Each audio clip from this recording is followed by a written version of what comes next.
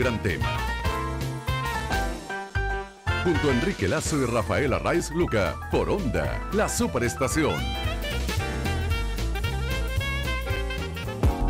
Un tema, dos perspectivas y mucho de qué hablar sobre lo que fue, lo que es y lo que será.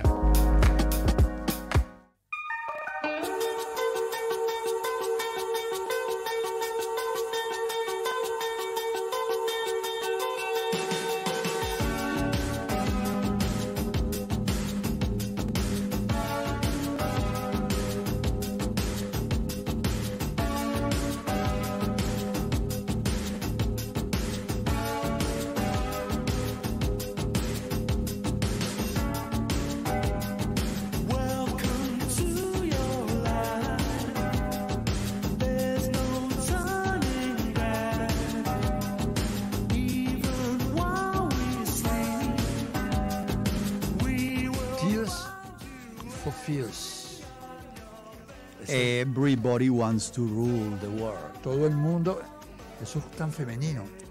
Todo el mundo quiere dominar el mundo. Eso son las mujeres. Las mujeres están a punto de eso. Nosotros estamos en una situación muy difícil, los hombres, ¿sabes? Sí, sí, sí, sí, sí. No, no, no, tenemos que unirnos. No es juego, no es juego. Tenemos que unirnos porque las mujeres no están jugando para... Van con todo las mujeres. Bueno, mire... Y estamos en la hora nacional. Así es, así que un llamado a todos los hombres de todas estas ciudades que se pongan moscas. Eso es un tema, se conecta al circuito Onda. Caracas, Maracaibo, Valencia, Barquisimeto, Margarita, Puerto Ordaz, Puerto La Cruz, Ciudad Bolívar, Vargas, Acarigua, Media, Yaritagua, Nirgua, San Antonio de los Altos y parte del extranjero. Y Maturín. Y Maturín. ¿No lo dije? Sí, Maturín. No, no lo dije. Muy bien. Bueno, esto, eso es un tema. Estoy en compañía de Rafael Arraiz Luca y vamos a hablar de algo. Yo estaba estudiando el, trabajo que hicieron las muchachas, Federica y Camila, sobre lo que vamos a hablar hoy, ¿no? Eh, eventos que impulsaron la migración en Latinoamérica. Y que trajeron una fuga de cerebros. Ajá, que eso sería, ahí tengo yo mi, mi opinión al respecto. Fíjate, uno dice, antes se decía inmigración, emigración, y ahora se resumió una sola palabra que es migración. Eh, bueno, sí, los migrantes pueden estar emigrando o inmigrando, depende de donde tú lo, veas, ¿no? Entonces sí. Eh, ¿Estás de acuerdo entonces que se usa una sola palabra para.? No, no, yo creo que depende de donde tú estás, tú estás recibiendo inmigrantes o estás enviando emigrantes. Sí, esto es un planeta y se supone que la gente tiene o debe, debería tener el derecho de vivir donde quisiera. Eso debería ser en, los derechos humanos, debería estar ese derecho, el derecho de que tú puedas vivir donde desees que tú quieras vivir, que no haya ningún mecanismo que te prohíba eso. Eso me parece a mí horrible, esa pérdida de, tu libertad de decidir dónde tú quieres ir. Ahora, una cosa es tu deseo y otra cosa es las circunstancias que te hacen emigrar. Por ejemplo, Venezuela era un país en el que al cual todo el mundo quería venir. Hace unos años tú, tú eras Venezuela, ah, yo quiero ir.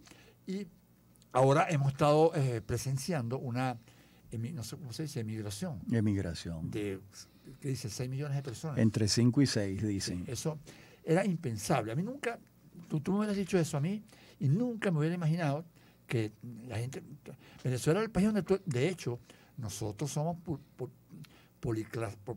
polirracistas, ¿cómo se dice eso? Sí, plurales, pluralistas. Mezclados, porque la mezcla es lo que hace bonita a la gente. La gente pura es muy fea, o sea, la gente pura es muy fea de todo tipo, feo étnicamente y, no, va a ningún lado esa pureza y también esos puros ideológicos o puros religiosos para mí son más sospechosos, o sea, yo creo en la eso, en el mestizaje, tanto cultural como étnico. Creo que la gente mestiza es más bonita, pero bueno. Mira, suscribo todo lo que has dicho. Qué bueno, Rafael. me gusta compartir con Rafael porque Rafael es, es de las personas que tú le dices cualquier cosa y él te oye, te... Ahorita tenemos una amiga y yo le digo, es una loca, para buscarle la, la, La lengua. la lengua a Rafael. Entonces Rafael dice, bueno, yo tengo muchos amigos locos. o sea, no ni, ni negó, porque no echarle horror, sino digo, bueno, pues, yo- si, uno, si uno se pone a discriminar a los locos, se quedan sin amigos. Pues yo, en el caso mío, sí, sí, yo, mis amigos locos y locas, pero yo no tengo ni Bueno, imagínate con quién te queda.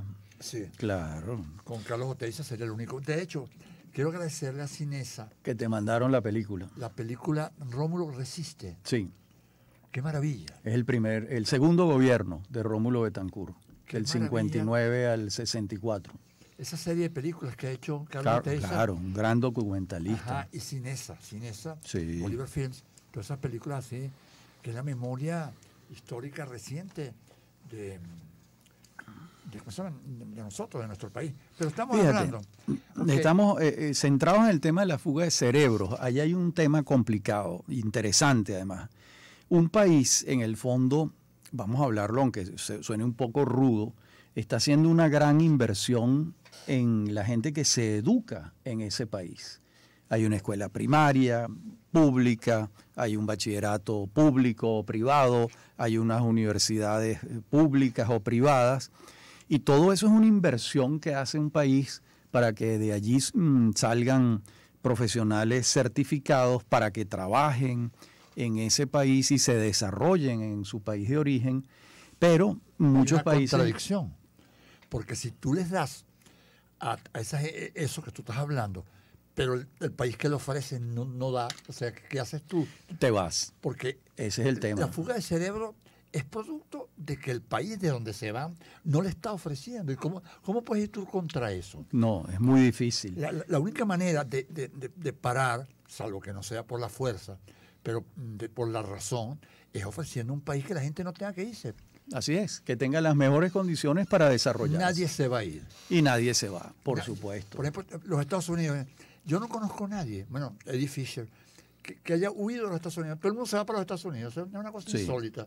Sí. Que- que- Bueno, fíjate, Es uno de los- malísimo los Estados Unidos, todo el mundo se quiere ir para allá. Entonces, ¿cuál es lo ¿Cómo? malo que tiene? que es lo malo que tiene. Y fíjate un, un tema interesante, mm, los científicos alemanes, por ejemplo, que comenzada la guerra, que eran de origen judío, nada menos que Albert Einstein, eh, se tienen que ir de Alemania y a dónde se van? A los Estados Unidos. ¿Pero por qué?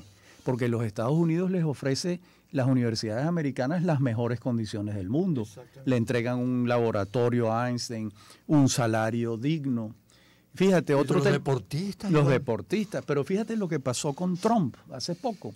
Trump pensó en un momento dado cerrarse a la inmigración con estas cosas que tenía Trump. Y entonces le dijeron, bueno, mire, mm, el problema es que más o menos la mitad de los médicos en los Estados Unidos provienen de la India. No, sí, Trump, Trump, Trump es un caso bien raro. No, Trump es una cosa, pero... Rara, porque cómo llega a ser presidente.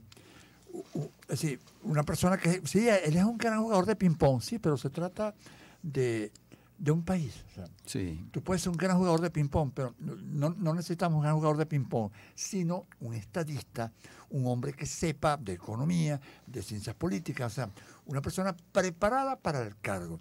¿Quién va a volar el avión? Eh, esta- esa- No, esta búscate se- al médico. El, Sí. el traumatólogo vuela los aviones extraordinariamente. Sí. No eres un gran traumatólogo, entonces, eso tiene que ver. Entonces Trump, en esos casos atípicos, seguramente era, es, o fue, o, o será, o lo que sea, un gran empresario, pero conducir un país Es otra cosa. Un poquito más de. O sea, qué bueno que sea un empresario, qué bueno que tenga experiencia en economía, pero no, no es suficiente. Y además, otra cosa, si un país ha sido hecho por los flujos migratorios, es los Estados Unidos. Exactamente. Pero prácticamente de los Estados Unidos no es nadie. Sí. Un estado como la Florida, que se ha convertido en uno de los polos de desarrollo más importantes de los Estados Unidos, hace 100 años no existía. O sea que ahí no, esos eran unos, pa- unos pantanos llenos de caimanes. De modo que ahí todos son, Y vienen de otro y- bueno, si acaso, si acaso, pero caimanes todavía hay que están reclamando, los caimanes están reclamando sus espacios ancestrales. Los, eh, los, los Gators. Se les meten en las piscinas a la gente. Entonces, lo- pero de ahí fíjate- viene, tú sabías que esa, esa bebida, Gatorade, viene por eso, por los caimanes. Ah, no sabía. Sí, en un sitio, en una ciudad, yo no sé si en Florida o en Atlanta por ahí, había un equipo que se llamaba los Gators. ¿no? Ah, Y ellos tenían una, una bebida que hacían que, bueno, les, les daba como fuerza o, o era muy buena para después de hacer ejercicio la tomada. Y entonces mezclaron Gatorade con... ok, ok. Y ahí viene la... Sí. la- la- Dicen que so- se debe tomar después de hacer ejercicio. Eso es lo que... Yo, yo tuve la suerte de dirigir los comerciales de lanzamiento de ese, Ajá. de ese producto. Hace un tiempo. hace un tiempo, sí, cuando se empezó en Venezuela. Y lo que decían era eso, que es una bebida que necesita hacer ejercicio. Para reponer las sales que ella te da. Exactamente.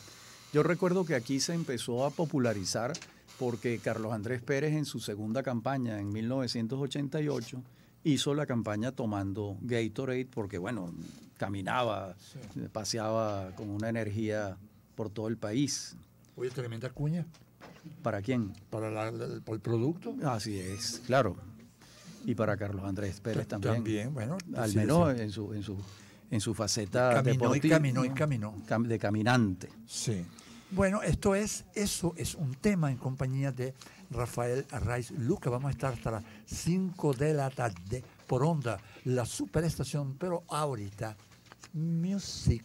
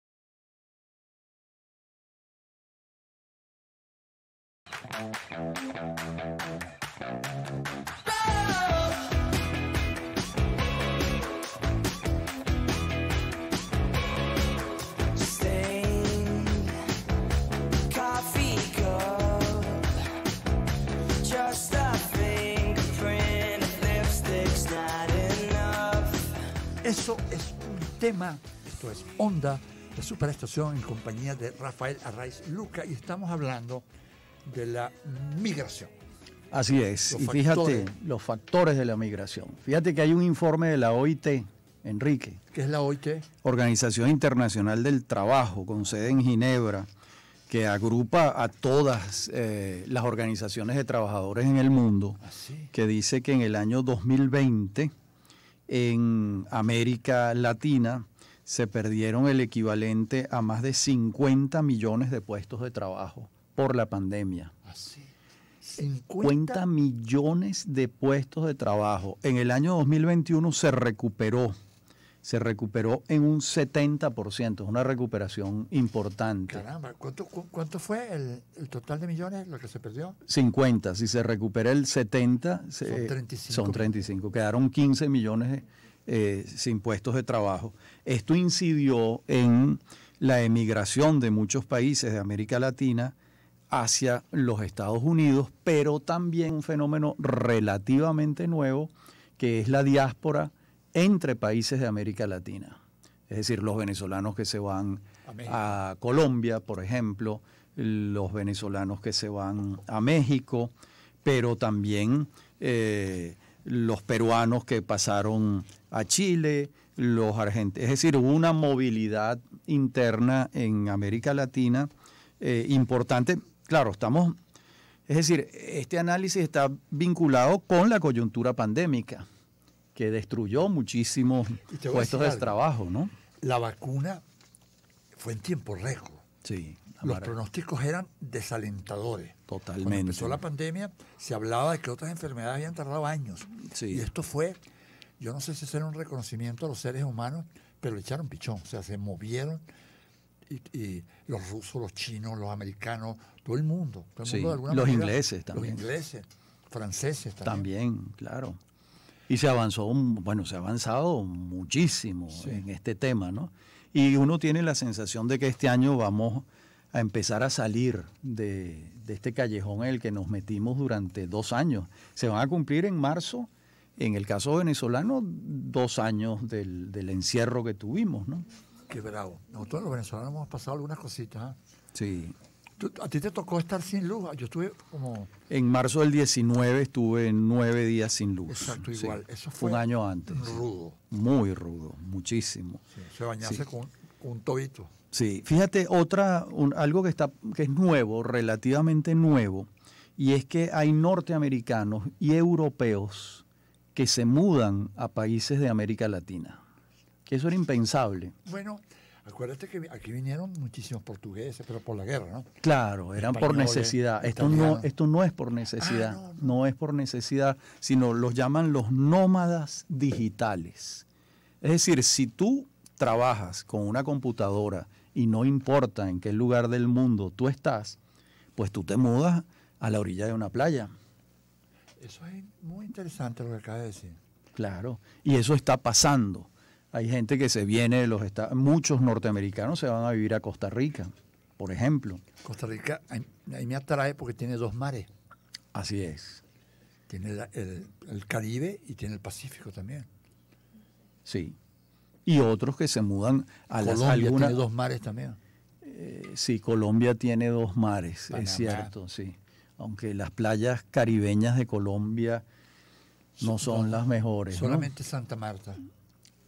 El rodadero, una, pla- una playa que fue la favorita de los maracuchos durante muchísimos años. Sí, sí, porque después para allá es hondo, ¿no? Una aventura. Claro, eso ya es en el Pacífico. Eso es y- el Pacífico. y- Y, y- y en Cartagena, uno va a Cartagena y si quieres ir a una playa tienes que montarte en un bote y una, en una lancha y ir hasta a una, otra islita. a las Islas del Rosario, que son muy bonitas, pero hay que montarse en una lancha, eso tiene un costo, no es Sí. así que te vas del Igual carro. San Andrés. Ah, no, eso sí, es una belleza, parecido a los roques, ¿no? ¿Cómo no? Yo Aguas, estuve, ¿eh? aguas coralinas. Yo no he estado en San Andrés. Ay, qué bueno. Le gané una a Rafael, No, Rafael conoce toda Colombia. Tú le dices, tú le dices, Cartagena, sí, he ido 27 veces a Cartagena. Yo no he ido a Cali, ¿y tú sí? Sí, Fíjate, la, en la capital mundial de la salsa. y, de, y del sea, Sí, Cali es un sitio súper especial. mucho. Bello, bello, bello. Bueno, Colombia tiene Me- Medellín, es muy bonito también. Claro, por supuesto.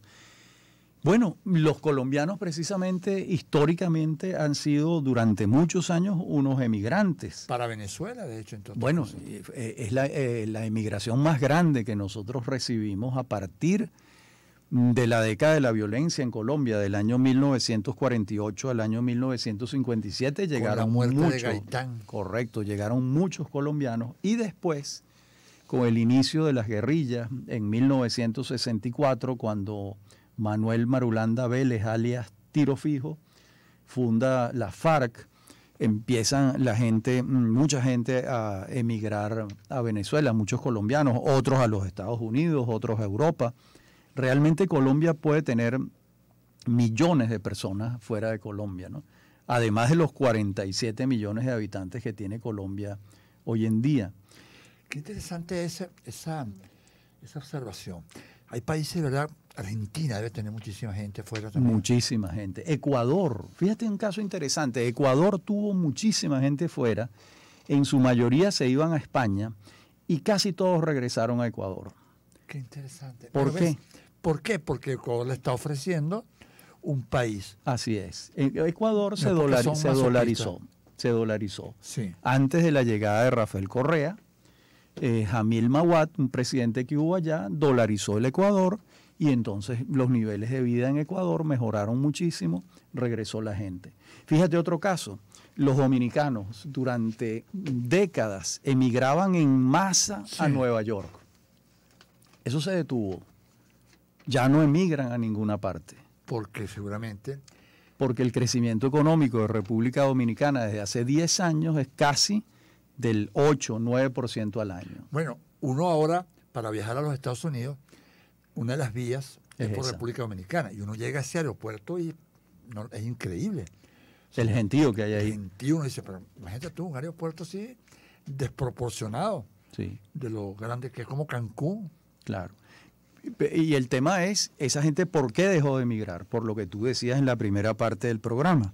Porque en sus países mejoraron las condiciones y si las condiciones mejoran, la gente no se va. Exactamente. Así de sencillo. La gente se y, si, viene. y si mejoran mucho, la gente se, Se- viene, se que viene. fue lo que pasó en Venezuela entre 1936 y 1983.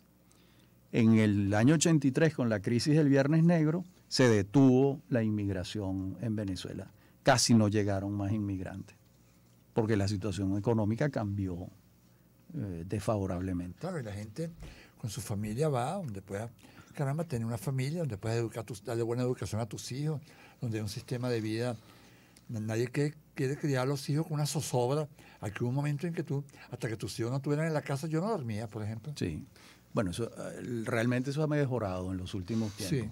Hay que reconocerlo. Es verdad. Sí, es verdad. Entonces, bueno, eh, eso, eso es lo que viene pasando. Y en la próxima parte del programa... eh, Seguirá va- pasando, pero va- vamos, vemos el futuro. ¿Cómo, ¿Cómo puede ser esto? ¿Qué va a pasar? ¿Cómo ¿Qué vamos a pueden? ¿Cómo pueden mejorar estos flujos migratorios en Venezuela y en el mundo también? Música.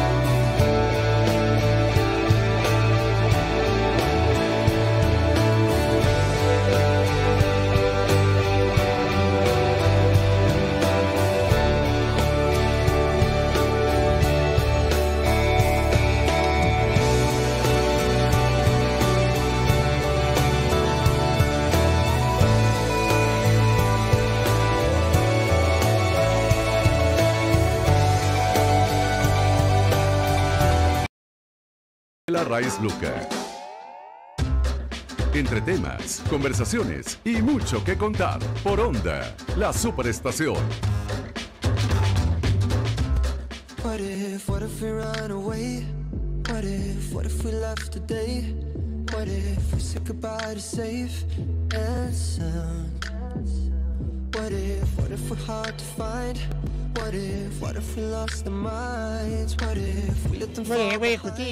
Esa, esa canción es Youth Trop Sivan, algo así. ¿Tú lo conoces? No, Yo, NPI. Pero lo ponen las muchachas, tanto. y muy buena canción. Muy buena canción. Sí, sí, sí. Un tumbadito. ¿De dónde será? No se ve como. Debe ser de Indonesia, una cosa así, ¿no? No se sabe, ¿no? Ustedes ni saben tampoco, está bien. bueno. ¿Qué va a pasar? ¿Qué hacemos con la migración? ¿Se va la gente? ¿Viene la gente? No es una cosa natural que en un planeta la gente se mueva de un lado para otro. Pues sí, eh, pues sí, y fíjate que eh, hacia el presente inmediato y el futuro hay un tema con los países que tienen tasas de natalidad negativas, que se van vaciando de gente. Como España, por ejemplo. España, Francia, Japón. Japón es el caso más dramático, ¿no? Es el caso más dramático en el mundo, porque la gente no se quiere prohibido, casar. prohibido hacer el amor. No, sí lo hacen, pero no, no, no procrean. Si yo fuera presidente, lo prohíbo inmediatamente. ¿Verdad, chicos? Prohibido y al cabala, el que, se, el que tenga cara de haber estado haciendo el amor, a la derecha. ¿Te imaginas, no? Bueno, tú te imaginas, ¿no? Entonces, eh, loco que hay. eh, eh, es previsible que las migraciones en el futuro inmediato tengan que ver con los déficits poblacionales de determinados países en el mundo, que no pueden bajar el número de personas que viven en esos países porque se desarticula el estado de bienestar. Qué interesante, porque de alguna manera hay que detener, o sea, como dice, no hay cama para tanta gente, o sea, el planeta Tierra, y yo creo que de alguna manera tiene que haber una política global, cosa que es así, casi que un- una herejía pretender eso, una cosa tan, tan lógica como que los habitantes de un planeta se sienten en una mesa a decidir el futuro de la humanidad, en vez de estar haciendo bombitas y guerritas así ridículas donde ganan cuatro. La- las guerras son eh, buenas para cuatro gatos que son los dueños de, la- de- de las armas y la desgracia para el resto, ¿no? Y sin embargo no se sientan en una mesita a, a planear el mundo, pues a decir, mira, Sí. aquí se hace esto. Pero fíjate, Enrique, yo entiendo que el porcentaje mm, de crecimiento de la población de la Tierra, que somos 7.500 millones de personas, se ha ido mm, ralentizando. Vamos creciendo a menor ritmo que hace algunos años. Cada vez que yo te oigo decir eso, me, da alegría eso, ¿sabes? Tú dices siempre algunas cosas interesantes, sobre todo de Venezuela, cosas este, así interesantes de Venezuela. Y eso que dices del mundo me parece tan interesante este, de que eso esté ocurriendo. Pues sí, eso está, eso está ocurriendo. Y, y también Venezuela. ¿o? En Venezuela en particular, a partir de los años 60, la tasa de crecimiento eh, poblacional en Venezuela se redujo. Eh, incluso hoy en día se puede decir que Venezuela no es como era en los años 60 y 70, un país eh, mayoritariamente de jóvenes. O sea, la- ya, ya Venezuela no es una pirámide, sino una ánfora ¿Una qué? ánfora. Fíjate, eh, la pirámide es cuando tú tienes la mayoría de la gente, es mm, o niños o jo- adolescentes o jóvenes y son muy pocos. Un ánfora. Yo tenía Y- un- una gata mira, que se llama así. El ánfora es así, hay una base, así que es el ánfora. loca un ánfora. O Sí, Se me parece otra cosa, ¿sabes? sí, también, también. Muy loca ese ánfora. Es, es decir, lo- eh, ha venido, porque hay otra cosa que hay que considerar en estos temas de poblacionales y de migración, y es que la expectativa de vida ha crecido en todo el planeta Tierra. Nosotros hoy en día, los seres humanos, vivimos más, Sí, todos. sí. Eso se debe al avance de la medicina, fundamentalmente en los países que son vanguardias en investigación médica, La India. por ejemplo, los Estados Unidos, Inglaterra, Francia, Suiza, donde están las grandes farmacéuticas, donde están las universidades que van avanzando en la producción de medicinas que prolongan la vida de las personas. ¿Qué, qué, qué cosa tan, tan particular es la medicina? Uno ve una, una pastillita, uno dice, esta pastillita, yo tengo un dolor de cabeza trinca. Tómate esta pastilla, ve una pastillita así, dice, ¿cómo es posible que esta pastillita, que yo me la tome y, y de repente, sí, sí me quita el dolor de cabeza? Eso, eso es un acto de magia, tú te pones Sí. a ver. Bueno, y otras pastillitas son todavía más mágicas, Hay ¿no? unas pastillas muy... Sí, ¿Ah? yo tengo amigos, Hay otras, pero yo imagínate, ¿no? tengo amigos muy locos. Sí, ¿no? Sí, que se dejan el pelo así, franelas así de, de Tú sabes que a esa pastillita se llegó por azar. Estaban investigando. En una- Basel, ¿Ah? en Basel, en Suiza. Correcto, estaban investigando sobre la hipertensión arterial y se dieron cuenta de que esta pastillita tenía otros efectos. Así es. Y también lo, lo- se pensó, eh, en vez de electroshock, a la gente que está muy, muy loca, este, sin alusiones personales, porque mucha gente que se siente aludida con esto, este, mm, se usó para eso, para sustituir el electroshock, y entonces le metían un viaje, eso sí, esos viajes muy locos, que, en fin. Esa es la pastillita que tú estás hablando, ¿no? No, esa es otra. Esa que tú, esa que tú estás hablando es otra, Enrique.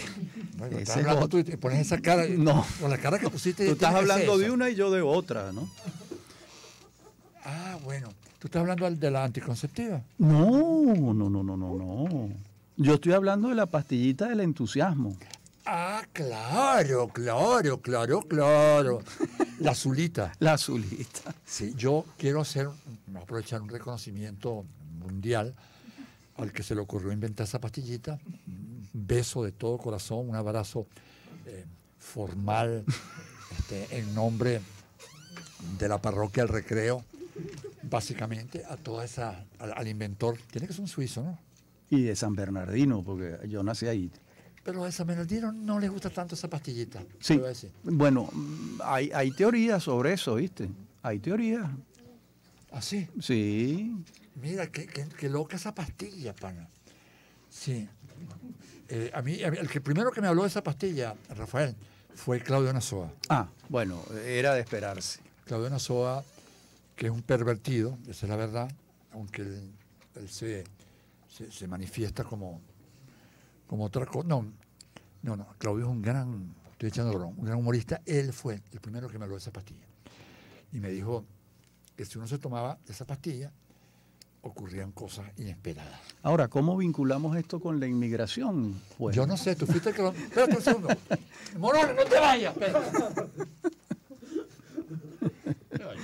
Estoy preparada para verlo después de este negro. Sí, mira, este, tú fuiste, y es bueno que se sepa ahora que estamos a nivel nacional, que estamos hablando de la inmigración y Rafael habla de esa pastillita azul. Muy, muy loco, Rafael. Bueno, pero No puedo contra eso. El yo estaba hablando del ánfora, Enrique, y El tú ánfora. entraste, eh, el color de tu camisa me recordó a la pastilla. Y el ánfora me recordó a la otra de la cual yo hablé. Sí, es, ah, eh, ahí, de ahí viene la confusión. Sí. De ahí viene la confusión. Bueno, Pero mira, en todo caso, la in- la- la- los migrantes en el mundo, ah, en los dos años de pandemia, eh, eso se profundizó por la pérdida de puestos de trabajo en muchísimos lugares, en particular en América Latina fue así.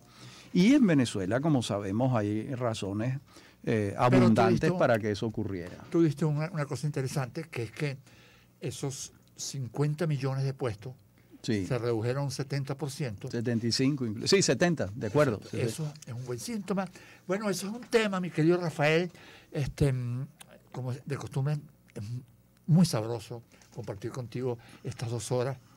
Yo aprendo muchísimo. No, yo también. Eso, tú Esta, me- por ejemplo, esta última etapa médica tuya, eh, todas estas reflexiones sobre las pastillas, yo estoy, eh, pero asombrado. Tú, Sí. tú eres paramédico. No, pero tengo una tía. Ah, Y entonces, listo. Ah, es, es que eso es lo Yo mejor. la acompañaba al hipódromo y ella jugaba mucho. Y se, se tostó, de tanto jugar se tostó. Mira, Se bueno, formó de medicina en el hipódromo. sí, Sí. eso es un tema, Rafael. Y este programa está producido magistralmente por Federica Pimentel Cloud En la asistencia de producción, Camila Álvarez Fernández. y directamente desde Juárez, desde, órale, el pincho, pincho, pincho, pincho, Jerez, no manches. En el departamento web, el equipo de www.mundour.com. Y también, oigan el tono que le voy a dar a esto, y también eh, nos pueden contactar a través de nuestras redes sociales. Arroba, Muéranse. arroba Enrique Lazo. Y arroba, oigan como voy a decir la Z, Rafael Arraez. Para escucharnos pueden ingresar en nuestra página web www.mundour.com y seguirnos en Twitter e Instagram arroba circuito onda. Eso es un tema, es presentado